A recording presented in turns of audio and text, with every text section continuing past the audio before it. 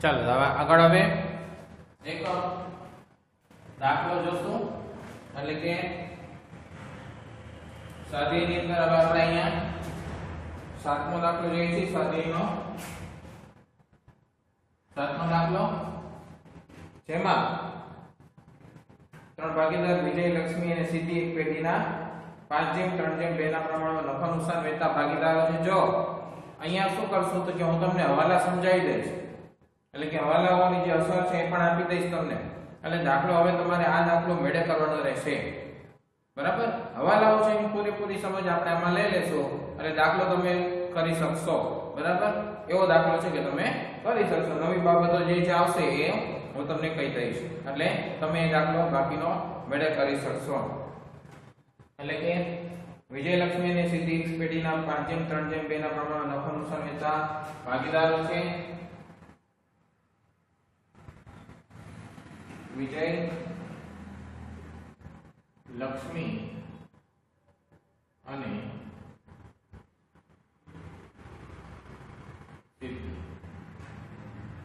પાંચ જેમ, ત્રણ જેમ, બે.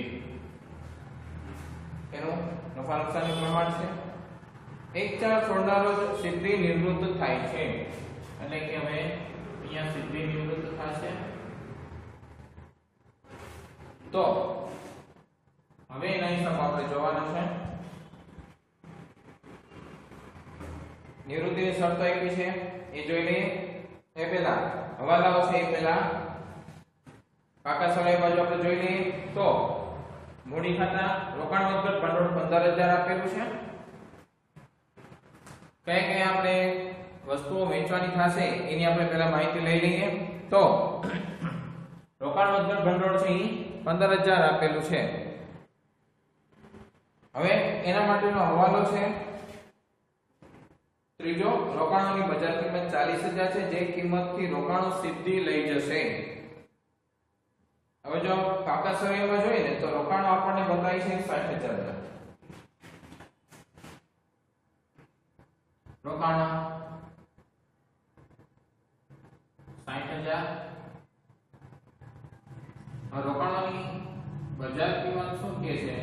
તો કે રોકાણોની બજાર કિંમત, ત્રીજા વાળો કે છે ચાલીસ હજાર છે, એનો અર્થ શું થયો?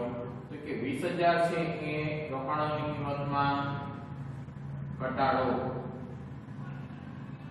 વીસ હજારનો ઘટાડો થયો. આ ઘટાડા માટે રોકાણોમાં ભવિષ્યમાં આવું થાય, એના માટે આપણે શું કર્યું છે? તો કે રોકાણ મતલબ ભંડોળ ઊભું કરેલું હોય, તો એ આપણે ઉપયોગ કરી શકીએ. તો રોકાણ મતલબ ભંડોળ આપણી પાસે છે. રોકાણ મતલબ ભંડોળ કેટલું છે? તો કે રોકાણ મતલબ ભંડોળ છે.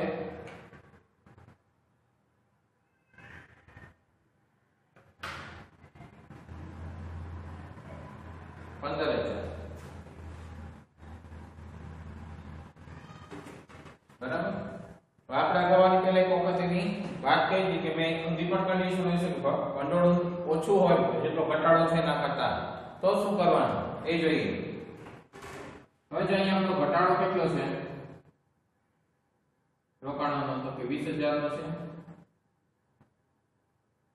એમાંથી આપણી પાસે ભંડોળ કેટલું પડ્યું છે? તો કે 15000 છે હવે 5000 હજી ઘટ્યા. કારણ કે 20000 જરૂર હતી 15000 જ છે, તો 5000 નો ઘટાડો પાછો આવ્યો. બરાબર? તો હવે શું એપ્લી કરશો? તો કે 5000 નો ઘટાડો આવ્યો એ આપણે પુનઃ મૂલ્યાંકન ખાતામાં ઉધાર બાજુ લખશું, રોકાણ 5000 પછી આગળ હવાલામાં શું કહે છે?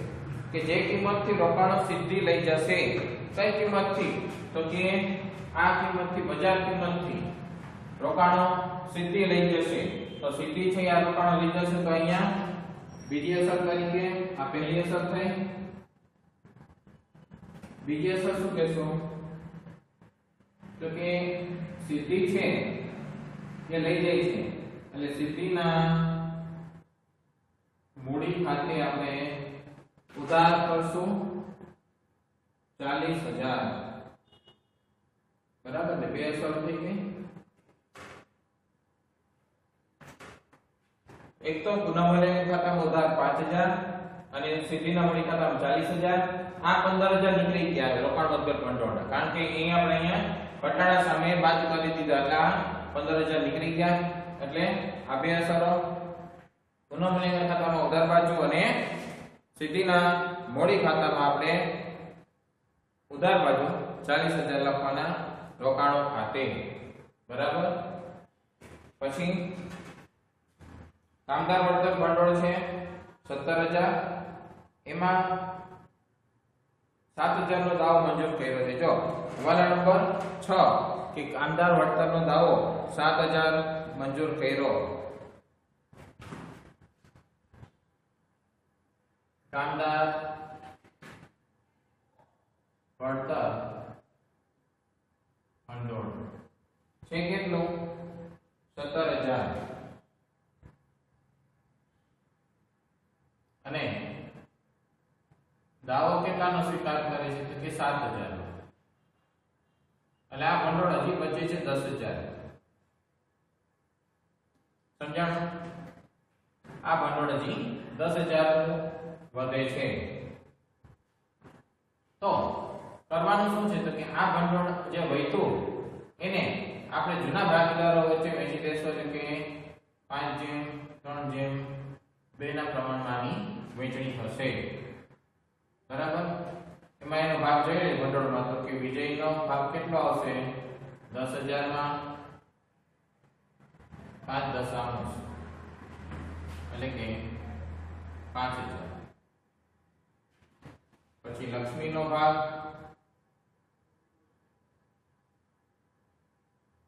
ત્રણ દશાંશ એટલે ત્રણ હજાર અને સિદ્ધિ.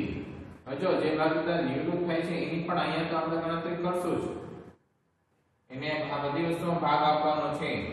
એટલે એનો પણ અહીંયા ભાગ ગણશું. બે હજાર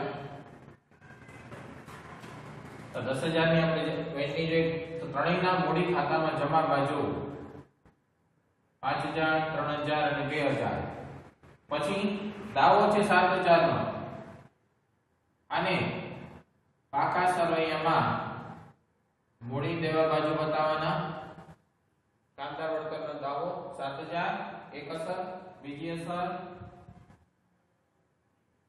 ભાગીદારોના મૂડી ખાતામાં જમા બાજુ આ બીજી અસર અને આ પહેલી અસર બરાબર? એટલે બે અસર આપવાની છે કામદાર વળતરની કે પહેલી અસર આપણે જોઈએ તો એ અસર છે પાકા સરોયમાં મૂડી દેવા બાજુ સાત હજાર રૂપિયા કામદાર વળતરનો દાવો અને બીજી અસર ભાગીદારોના મૂડી ખાતામાં જમા બાજુ ત્રણેય ભાગીદારના મૂડી ખાતે પાંચ હજાર, ત્રણ હજાર અને બે હજાર એ ત્રણેય ભાગીદારોના મૂડી ખાતે લખવાના રહેશે. જમા.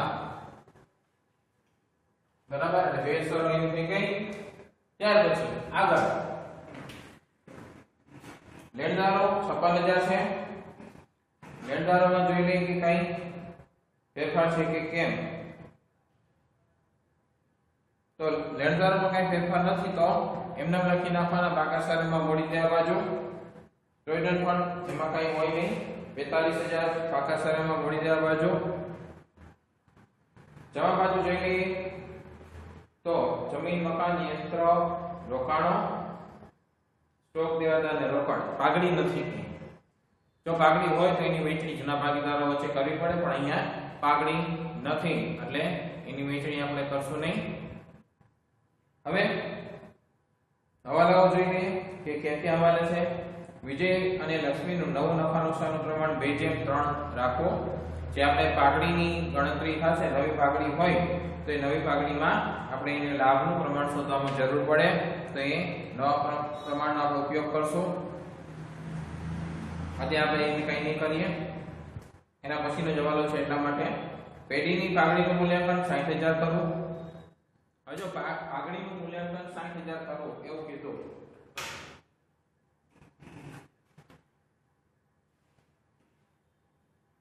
તો પાઘડી નવી છે, એટલે કે હવાલાવાળી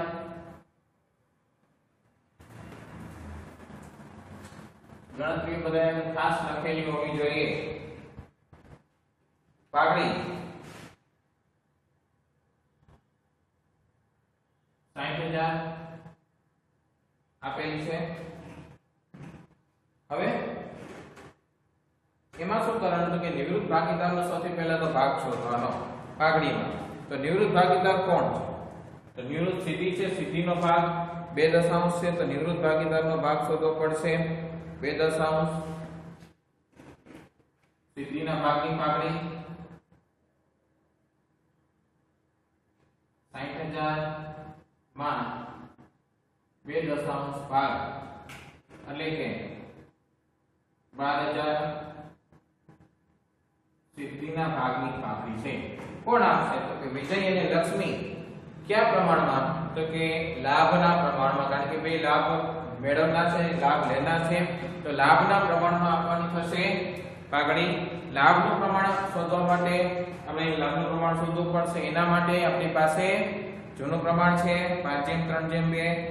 અને નવું પ્રમાણ આપણને આપેલું છે, બે જેમ, ત્રણ. એટલે તો લાભનું પ્રમાણ આપણને અહીંયા મળી જશે. એના પરથી આપણે પાઘડીની ગણતરી કરી લેશું. બે ભાગીદારનું લાભનું પ્રમાણ. તો લાભનું પ્રમાણ આપણને મળશે નવો ભાગ માઇનસ જૂનો ભાગ. લાભના સૂત્ર છે ને આપણી પાસે કે નવો ભાગ માઇનસ જૂનો ભાગ. હવે એમાં આપણે વિજયનો ભાગ શોધીએ. વિજયનો લાભ. વિજયનો, હવે જે નવું પ્રમાણ આપેલું છે આપણને અહીંયા.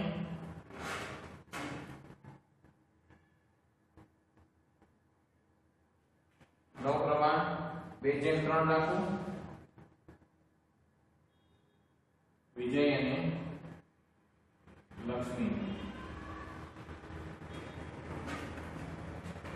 નવ ભાગ.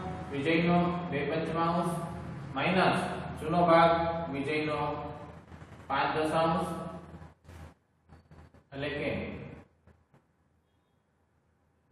પચાસ માઇનસ પાંચના છેદમાં પચાસ માઇનસ આવે છે, એટલે કે આને શું કહેશું આપણે? ત્યાગ કહેશું? બરાબર? અને લાભનું પ્રમાણ શોધતા હોય અને માઇનસ આવે એટલે ત્યાગ કહેવાય. વિજય પછી લક્ષ્મીનું પ્રમાણ શોધી લઈએ. લક્ષ્મીનો નવો ભાગ, ત્રણ પંચમાંશ માઇનસ જૂનો ભાગ, ત્રણ દશાંશ.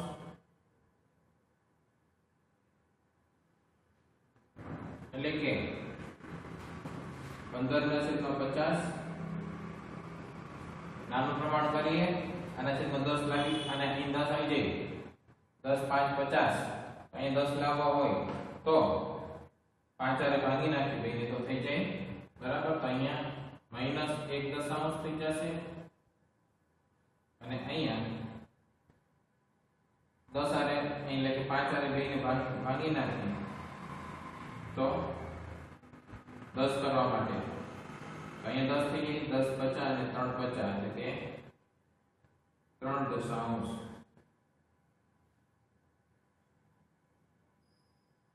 બરાબર આ શું છે તો કે ત્યાગ છે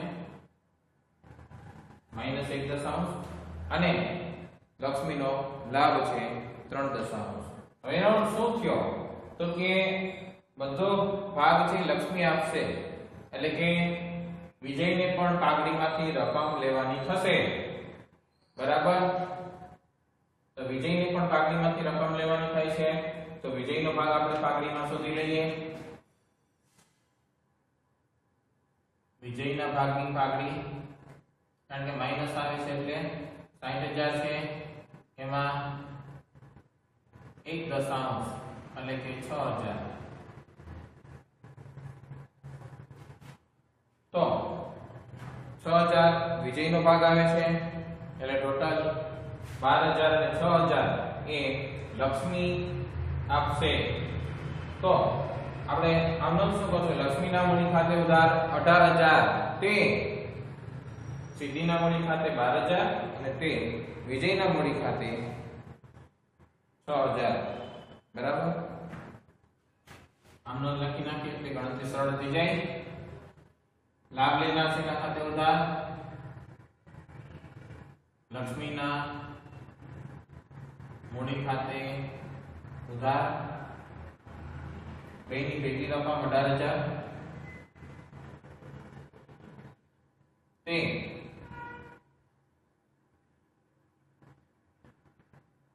સિદ્ધિના મૂડી ખાતે રકમ બાર હજાર. અને તે વિજયના મૂડી ખાતે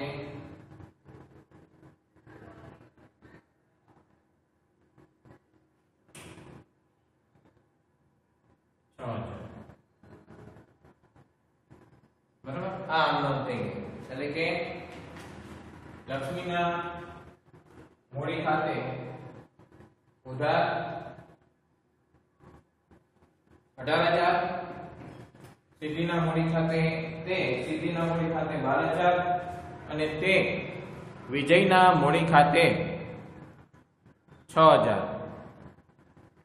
આની નોંધ કઈ રીતે કરશો? બરાબર? નોંધ કરશો? તો કઈ રીતે કરશો? કે જે ભાગીદારો છે, એના મૂડી ખાતામાં, હવે જો લક્ષ્મીના મૂડી ખાતે ઉધાર લખી છે ને, ભાગીદારના મૂડી ખાતામાં લક્ષ્મીના ખાતામાં ઉધાર કરશું નામ લખશું સિદ્ધિના મોડી ખાતે બાર અને વિજયના મોડી ખાતે હજાર. આ બેના મોડી ખાતામાં જમા કરશું અને નામ લખશું લક્ષ્મીના મોડી ખાતે સિદ્ધિમાં બાર હજાર અને વિજયમાં છ હજાર. બરાબર? પછી, રોકાણોની બજાર કિંમત એ થઈ ગયું. રોકાણ ઉત્તર ભંડોળમાં. દેવાદારોની ત્રણ હજાર ગાલખાત માંડી વાળવી અને પાંચ ટકા ગાલખાત અનામત રાખવી.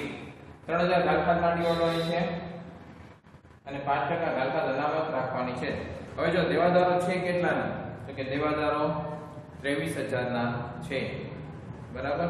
ત્રેવીસ હજારમાંથી ત્રણ હજાર ગાલતા માંડીવાળી એટલે વીસ હજાર. પાંચ ટકા ગાલતા અનામત રાખીએ એટલે કે વીસ હજારના પાંચ ટકા એટલે કે એક હજાર. બરાબર? તો એક હજાર ગાલખાદા અનામત રાખવાની છે. પણ છે કેટલી? તો કે ગાલખાદા અનામત છે ચાર હજાર. એમાંથી હજાર રાખવાની છે તો?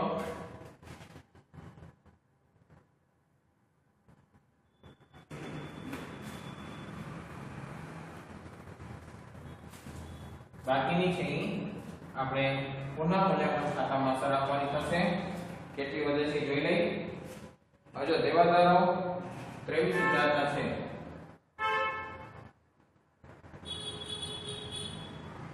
દેવાદાર ત્રેવીસ હજારના એમાંથી કીધું ગાલખાન ત્રણ હજાર. એટલે કે વીસ હજાર. એમાં કીધું ગાલખાન અનામત પાંચ ટકા રાખવાની. એટલે કે પાંચ ટકા વીસ હજાર ના પાંચ ટકા એક હજાર.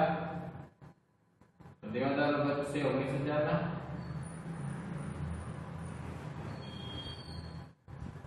હવે ગાલખાન અનામત આપણી પાસે હતી.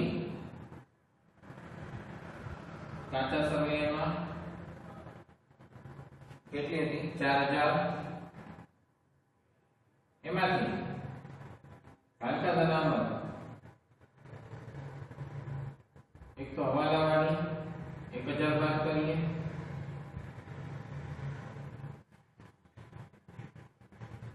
બરાબર એટલે બચશે કેટલા ત્રણ હજાર બરાબર નવી કાલખાત બાદ કરીએ એટલે કે હવે ત્રણ હજાર બચે છે તો એ ત્રણ હજાર છે, એ શું થયું? તો કે નવા, નવી કાલખાતાના મત, એટલે કે બચે છે એટલે કે કાલખાતાના મત એટલી વધી તો એ આમ જોઈએ તો કાલખાત અનામત કઈ વધે નહીં કારણ કે આપણે કાલખાત છે માંડી વાળીએ છીએ બરાબર તો કાલખાત માંડી વાળતા હોય તો એ આપણે કોઈ વસ્તુ ગણતરીમાં લેવાની થાય નહીં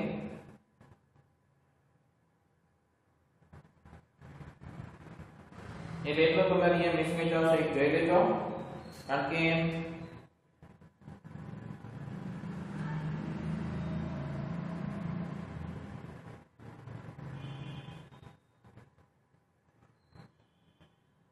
અહીંયા આપણે દેવાદારમાં ત્રણ હજાર દાખલ માંડી વળીએ પાંચ ટકા દાખલા અનામત રાખવી તો ત્રણ હજાર દાખલ અનામત માંડી વાળીએ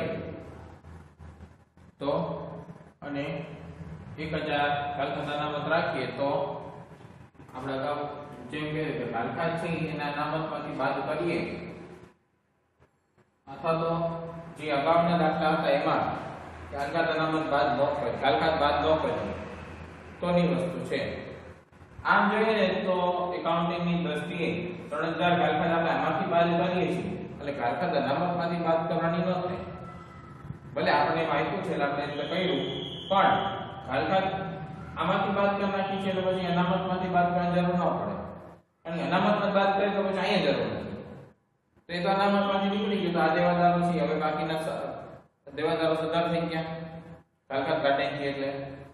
એટલે આમ જો આ જ ગણતરી તમારે કરવાની થશે કે ગાલખાત છે દેવાદારમાંથી બાદ કરી છે નામકમાંથી બાદ કરવાની જરૂર નથી. આ રીતે ગણતરી કરજો. આ 3000 વધે, એને તમારે પુનઃ મૂલ્યાંકન ખાતામાં જમા બાજુ અસર આપવાની રહેશે.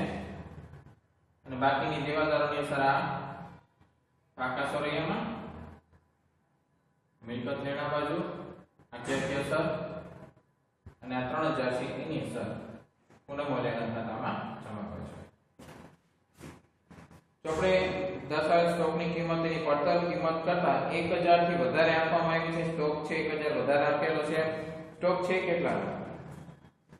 35000 બરાબર? 1000 વધારે આપ્યો છે એક 1000 ઘટાડી નાખો. ઘટાડો કરો એટલે પુનઃમૂલ્યાંકન ખાતા વધારે બાજુ 1000 અને સ્ટોકમાંથી ઘટાડો કરો એટલે કે 35000 છે. એમાંથી 1000 બાદ કરો એટલે 34000 તમારે બતાવવાના થાય. કાકા સપૈયામાં બતાવવાના થાય. 34000 બરાબર? કામદાર વળતરનો દાવો 7000 મંજૂર કરી આવી ગયો સીધીને 12000 રોકડા ચૂકવવા. સીધીના મૂડી ખાતામાં 12000 રોકડા ચૂકવવા. એટલે કે મૂડી ખાતામાં ઉધાર કરી નાખવાના. અને આપણે રોકડ ખાતું બનાવ્યું હોય તો એમાંથી બાદ કરવા જમા બાજુ. અથવા તો જે રોકડ છે, રોકડ કેટલી છે? 36000 છે, તો એમાંથી 12000 બાદ કરી નાખીએ એટલે 24000 છે, એ સીધા પાકા શરીરમાં તમે બતાવી શકો છો. રોકડ ખાતું ન બનાવ્યું તો અહીં બનાવી નાખજો રોકડ ખાતું. એટલે બાકી આગળ લાગે તમારે 36000 થઈ જશે. ઉધાર બાજુ, જમા બાજુ સીધીના મૂડી ખાતે 12000 અને જમા બાજુ બાકી આગળ લઈ ગયા 24000 આવશે જે બાકા શરીરમાં તમારે 24000 મિલકત લેણા બાજુ બતાવવાના થશે. બરાબર? બાકી આ દાખલામાં કઈ હવે નવું નહીં આવે, જે પણ વિગતો હતી આપણે કરી લીધી છે. તો આ દાખલો તમે કરી શકશો. બીજો એક દાખલો પણ તમને આપી દઉં કે જે તમે કરી શકશો. એની એના પણ હવાલાઓ છે, એ જણાવી દઉં. બાકીનું તમે કરી શકશો.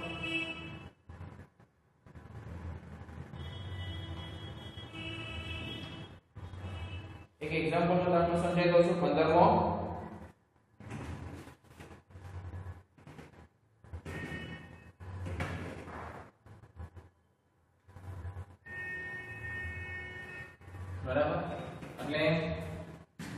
આ દાખલો છે 15 એમાં જે, એમાં પણ જે હવાલાઓ છે હું તમને સમજાવી દઈશ. એટલે બાકીનો દાખલો તમે અહીંયા પાછા મેળે કરી શકશો. બરાબર? તો હવાલા હું તમને જણાવી દઉં. દાખલા નંબર 15 ગોપી, કૃષ્ણ અને રામ ત્રણ ભાગીદાર છે.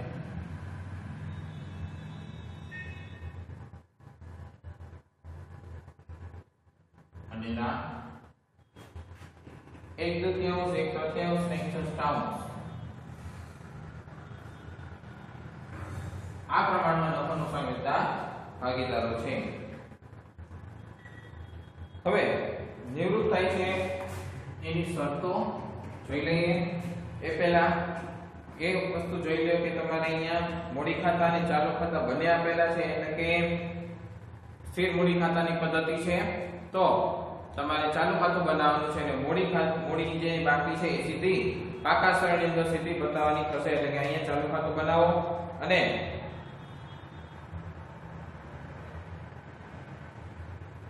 જે મૂડી છે પાકા સરળ બતાવી દો. અને એક વસ્તુ, અહીંયા નિવૃત્ત કોણ થાય છે? તો કે નિવૃત્ત થાય છે રામ. બરાબર? એટલે કે રામ નિવૃત્ત થાય છે. સીધી બતાવી દો. પાકા સરળની અંદર મૂડી તો પણ ચાલે. અને કદાચ ખાતું બતાવો બનાવો, તોય ચાલે. ખાતું બનાવો તો વધારે સારું છે. બરાબર? તો મૂડી ખાતું બનાવજો. એની પણ બાકી લખી નાખાય. કારણ કે આમ જોઈએ તો ચલિત ખાતું થઈ જશે, મૂડી ખાતામાં ફેરફાર થાય છે. કારણ કે જે નિવૃત્ત થાય છે ને, એની મૂડીનો પ્રશ્ન તમારે રહેશે. એટલે મૂડી ખાતું તમારે બનાવવું પડે. એટલે એ બનાવવાનું. જો એ નિવૃત્ત થાય છે એનો પ્રશ્ન ન હોય તો પછી મૂડી ખાતું ન બનાવો તો ચાલે. પણ અહીંયા નિવૃત્ત ભાગીદાર થઈ છે મૂડી ખાતું બનાવતા છે કોના મલેકન ખાતું, ભાગીદારોના મૂડી ખાતા, ભાગીદારોના ચાલુ ખાતા. અને બાકી સર બનાવવાનું થશે. એટલે મૂડી ખાતાની બાકી આવી ગઈ ચાલુ ખાતાની બાકી આવી ગઈ મૂડી દેવા બાજુ છે એટલે જમા બાકી કહેવાય. બરાબર? ચાલુ ખાતાની, તો ચાલુ ખાતાની જમા બાજુ લખજો હજાર અને દસ હજાર. હવે, સૌથી પહેલું કામ તમારે શું કરવાનું છે? તો, સૌથી પહેલું કામ છે, એ તમારે પ્રમાણને સરખું કરવાનું કરવાનું છે. આને એક તૃતીયાંશ સરખા નથી આપણે જુઓ. એક તૃતીયાંશ અને એક છઠ્ઠાંશ સરખા કરવા માટે જો બધાને છેદમાં 6 લઈ શકીએ, તો લઈ જવાના 6 લઈ શકીએ.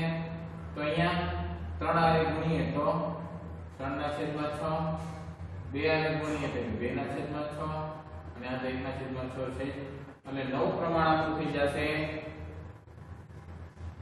એટલે પ્રમાણ, નવ નહીં પણ પ્રમાણ આપણું ત્રણ જેમ બે જેમ એક. આ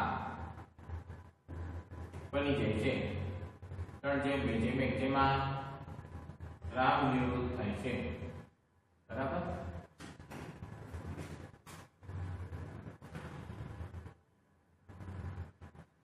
હવે આકસ્મિક અનામત નવ હજાર આપેલું છે, બાર હજાર આપેલું છે. એમાં આપણે કોઈ ફેરફાર નથી એવો, એટલે એમને એમ છે તો એને ત્રણ જેમ બે જેમ એકના પ્રમાણમાં વેચી દેશું આકસ્મિક અનામત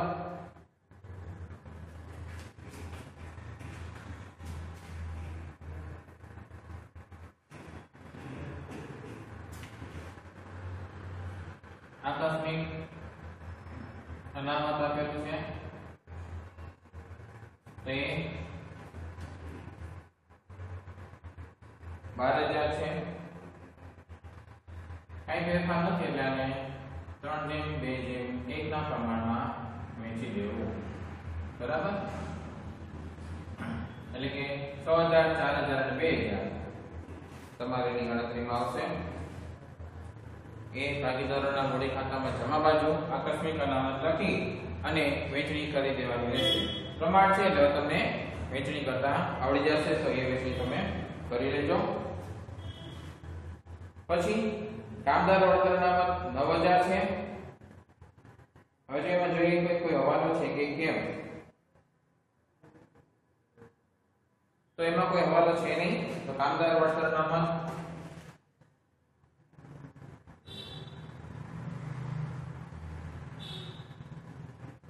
નવ હજાર આપેલું છે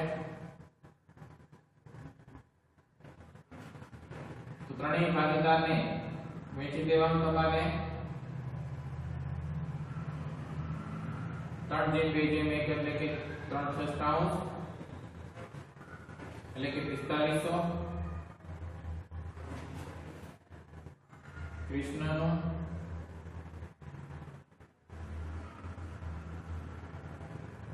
બે છઠ્ઠાંશ એટલે કે ત્રણ હજાર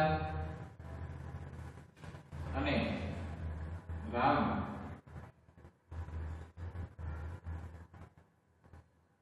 એક છઠ્ઠાંશ એટલે કે પંદરસો. ત્રણેયના મૂડી ખાતામાં જમા બાજુ આ પણ એમ ત્રણેયના મૂડી ખાતામાં જમા બાજુ એક આકસ્મિક અનામત છે ને કામદાર વળતર અનામત છે. ત્રણેય ભાગીદારના મૂડી ખાતામાં જમા બાજુ આ વિગતો દર્શાવવાની રહેશે. આગળ. રોકાણ વળતર અનામત પંદર હજાર છે. હવે, એમાં જો કોઈ હવાલો છે કે કેમ જોઈ લઈએ. એમાં પણ કોઈ હવાલો નથી, રોકાણ વળતર પંદર હજારનું છે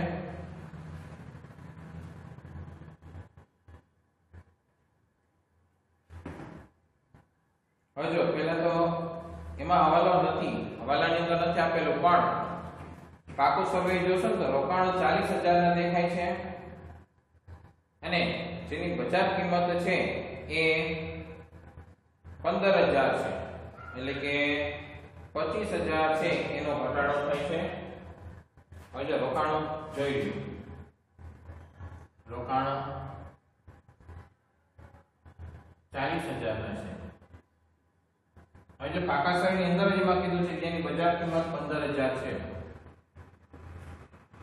બજાર પંદર હજાર છે. એટલે કે પચીસ હજાર નો ઘટાડો આવે છે.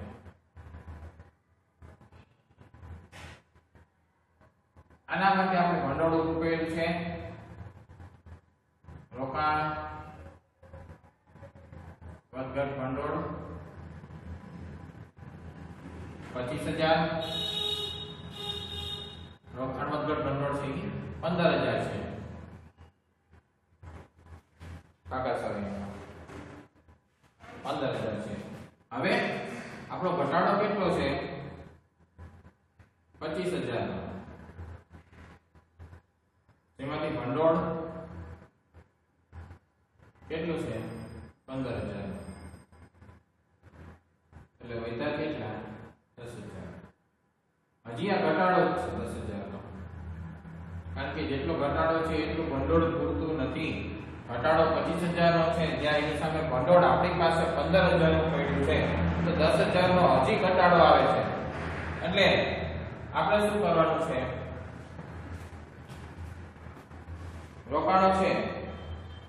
એ આપણે એક તો પંદર હજારથી સમયમાં બતાવી દેશું.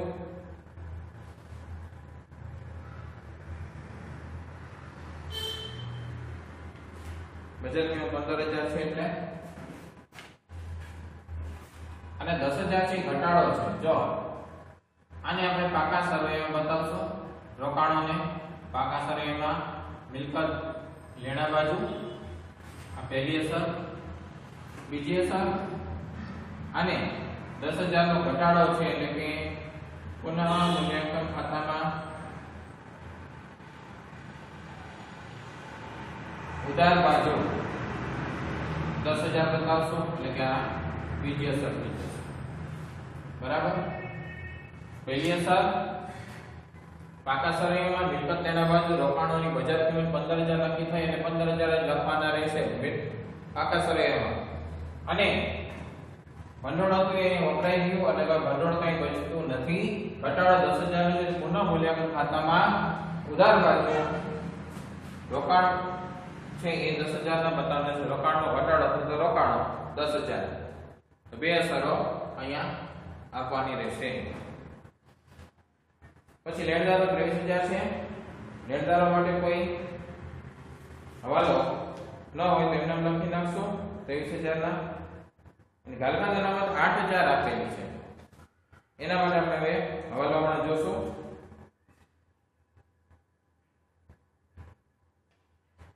બરાબર?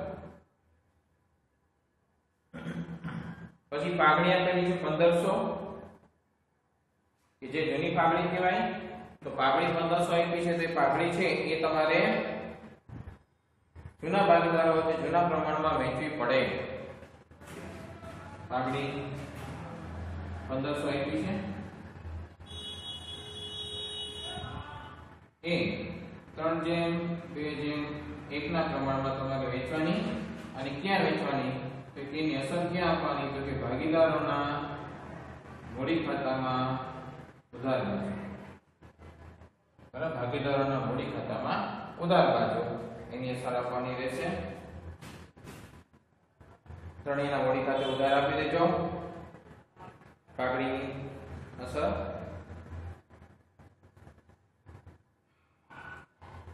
હવે બીજી બી થતો એમ છે, છેલ્લે કૃષ્ણનું ચાલુ ખાતું આપેલું છે જે બે ભાગીદાર છે ચાલુ ખાતા ઉધાર બાજુ, જમા બાજુ છે ગોપી અને રામનું, જ્યારે કૃષ્ણનું ઉધાર બાજુ બતાવવાનું રહેશે તમારે ચાર હજાર પાંચસો ચાલુ ખાતામાં બાકી આગળ લાવ્યા ઉધાર બાજુ કૃષ્ણના ખાતામાં ચાર હજાર પાંચસો જ્યારે બાકીના બે ભાગીદારો છે, ગોપી અને રામ, એના મૂડી ખાતામાં જમા બાજુ બતાવવાના રહેશે ત્યાર પછી હવાલાઓ જોઈ લઈએ યંત્રની કિંમત દસ ટકાથી વધારવી. દસ ટકાથી વધારવી એવી વાત છે જો અહીંયા. યંત્ર છે. તો એની કિંમત દસ ટકાથી વધારવાની છે. એટલે જેટલી કિંમત છે નથી. દસ ટકાનો વધારો કરવાનો છે.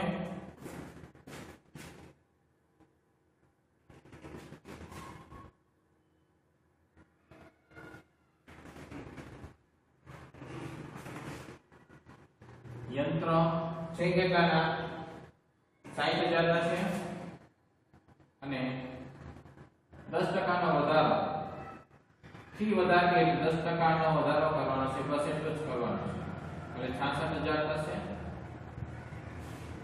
દસ હજારનો વધારો છે કે છ હજારનો વધારો છે તમારે પુનઃ મૂલ્યાંકન ખાતામાં ઉધાર બાજુ અને પાકા સરેયામાં મિલકત લેણા બાજુ યંત્ર છાસઠ હજાર. ટ્રેડમાર્કની કિંમત ચાલીસ ટકા સુધી ઘટાડવી. બરાબર? એટલે કે ટ્રેડમાર્ક છે કેટલાના તો કે અઢાર હજારના છે. ટ્રેડમાર્ક.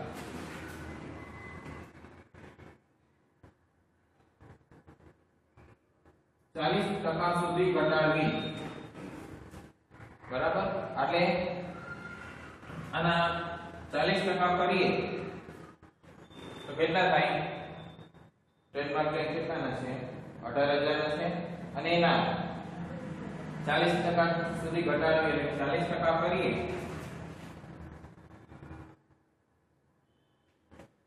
બરાબર? ચાલીસ ટકા સુધી ઘટાડવાની છે. બીજું, કે જો ટ્રેડમાર્કની કિંમત છે, તેમાં બીજો કઈ ફેરફાર આવતો હોય તો પહેલા એ કરવાનો રહેશે. એટલે કે ચાલીસ ટકા સુધી તો પહેલા ચાલીસ ટકા કરે, એટલે કે સાત હજાર બસો સુધી ઘટાડવાની સાત હજાર બસો રાખવાના થશે. ચાલીસ ટકા સુધી ઘટાડવાના, એટલે ચાલીસ ટકા રાખવાના અને બાકીના ઘટાડવાના છે. બાકીના એટલે કેટલા? તો કે ચાલીસ હજારના સાહીઠ ટકા તમારે ઘટાડવાના થશે. બરાબર? ચાલીસ ટકા સુધી ઘટાડવી એટલે આ રાખવાની છે. આ પાકા સરૈયામાં મિલકત લેણામાં તમારે બતાવવાના છે. બાકીના સાહીઠ ટકા ઘટાડવાના છે. ઘટાડો છે આ. બરાબર? એટલે કે દસ આઠસો. બરાબર? આ ઘટાડો છે. આ પહેલી અસર. આ બીજી અસર આને ઘટાડો છે એટલે કે પુનઃ મૂલ્યાંકન ખાતામાં ઉધાર બાજુ બતાવવાની રહેશે. બરાબર? પુનઃ મૂલ્યાંકન ખાતા ઉધાર બાજુ દસ હજાર આઠસો અને પાકા સરેયામ ટ્રેડમાર્ક સાત હજાર બસો. એ બતાવવાના રહેશે. પછી દેવાદાર પર ભાગ ખાતાના પંદર ટકા રાખી દેવાદારો જેટલા હોય એટલે કે છવ્વીસ હજાર છે, તો એના પંદર ટકા ગાળખાતા નામત રાખવી એટલે કે ત્રણ હજાર નવસો ગાળખાતા નામત થશે.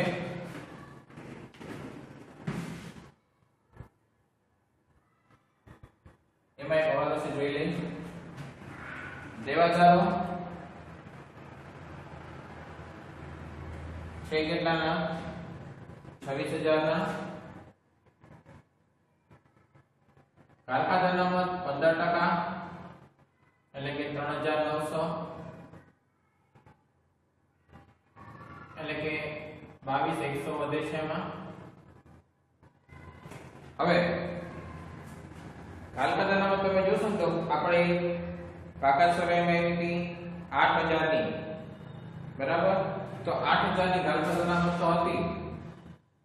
ગાલખાત અનામત કાચા સમયમાં આઠ હજાર ગાલખાત અનામત હવાલામાં ત્રણ હજાર નવસો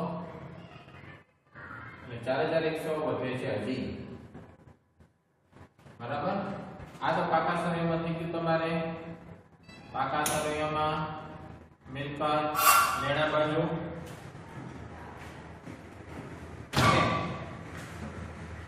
બીજી પાકા સરવૈયામાં પહેલી અસર પાકા સરવૈયામાં મિલકત લેણા બાજુ અને બીજી અસર, તમારે પુનઃ મૂલ્યાંકન ખાતામાં ઉધાર જમા બાજુ બતાવવાની રહેશે. પુનઃ મૂલ્યાંકનમાં જમા બાજુ ગાલખાત અનામત ચાર હજાર એકસો.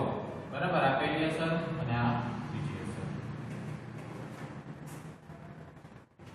બેંકમાં વટા લેણીની તેર હજાર પાક્યા તારીખે એકત્રીસ ત્રણ સત્તરના રોજ નકારાઈ દેવાદાર પાસેથી કોઈ રકમ વસૂલ થયેલ નથી. હવે જો, બેંકમાંથી નકારાઈ એટલે આપણું નુકસાન થઈ ગયું અને બીજું કે દેવાદાર પાસેથી રકમ વસૂલ ન થઈ એટલે તેરસો રૂપિયા આપણે પુનઃ મૂલ્યાંકન ખાતામાં ઉધાર બાજુ બતાવવાના રહેશે. બરાબર?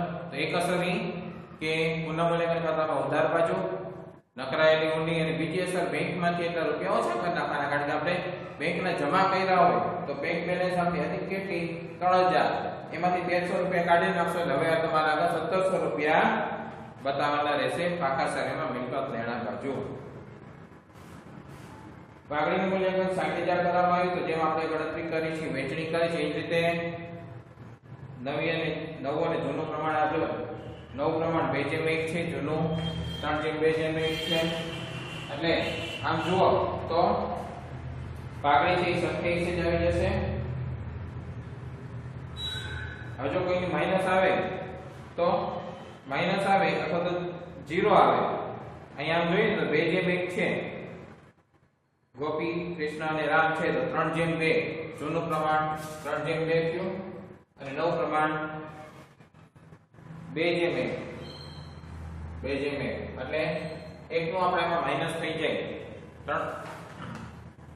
ગોપીનો ભાગ છે લાભ છે, એ થશે અને કૃષ્ણનો છે એ જીરો થઈ જશે. કારણ કે એનું પ્રમાણ સરખું થઈ છે બે બાજુ. એટલે એનો જીરો થઈ જશે તો બધી પાકડી છે એ ગોપી જ લાવશે. એટલે કે ગોપીના મૂડી ખાતામાં ઉધાર બાજુ અને રામના મૂડી ખાતામાં જમા બાજુ પાકડી એમાં કઈ ગણતરી તમારે નહીં કરવી પડે. સીધે સીધા ભાગ લખી નાખવાનો. રામ નિવૃત્ત થાય છે એટલે સાઈઠ હજારમાં રામનો ભાગ છે, એક સસ્તાનું છે, એટલે કે દસ હજારની પાકડી થશે. તો એ પાકડી દસ હજાર છે, એ લખી નાખવાની. ગોપીના મૂડી ખાતા ઉધાર અને રામના મૂડી ખાતામાં સમાન તો આ રીતે બધા હવાલાઓ કરશો તો દાખલો છે બરાબર વ્યવસ્થિત થઈ જશે. બીજો કઈ પ્રોબ્લેમ નહીં આવે અને બરાબર દાખલો ગણી લેજો. એટલે જે હવાલાઓ છે ક્લિયર થઈ જાય. ન પડે. બાકીનું છે આપણે નેક્સ્ટ લેક્ચરની અંદર જોશું.